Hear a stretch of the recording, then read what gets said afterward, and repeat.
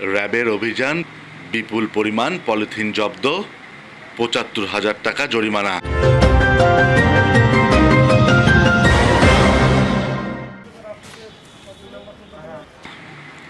Jhenaidah RAB অভিযান চালিয়ে বিপুল পরিমাণ পলিথিন উদ্ধার করেছে।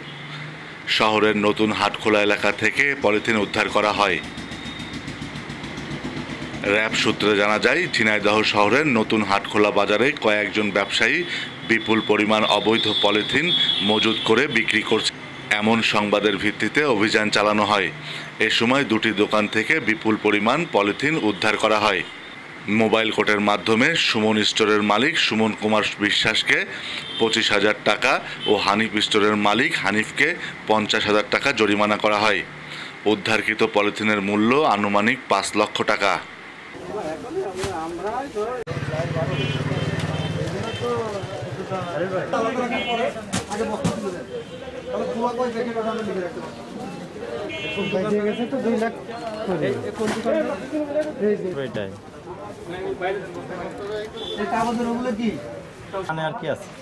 ওরা হয়তো কাজ করতে চলে আমাদের নাম জান ফুললি হবে তারপরে যে ওরা ফিরলো